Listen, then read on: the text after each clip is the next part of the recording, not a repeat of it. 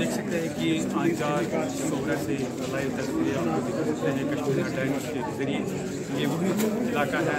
जहाँ पर सैफुल्ला कादरी के ऊपर मिलिटेंट ने अंधाधुन गोलियाँ बरसा कर शदीद जख्मी कर दिया और जख्मी की हालत में उसको नज़दीकी अस्पताल ले जाया गया, जहाँ वो जख्मी की टाप न लगाकर दम तोड़ना था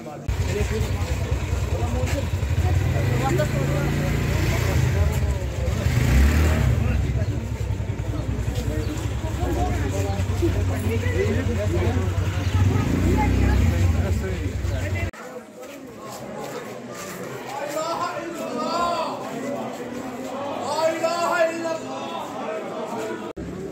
देख सकते हैं कि हम आपको लाइव तस्वीरें दिखा सकते हैं कश्मीर हेडलाइंस के ज़रिए।